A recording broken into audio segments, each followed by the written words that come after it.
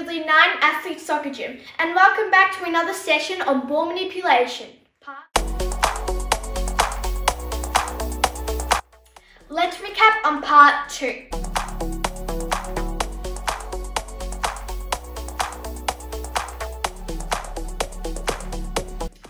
For this, we'll be doing a slide slash croqueta connected with a side roll.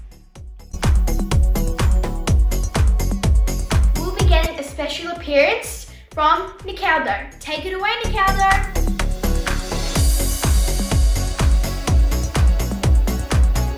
We'll be using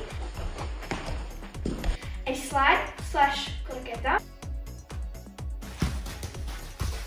connected with a sole roll.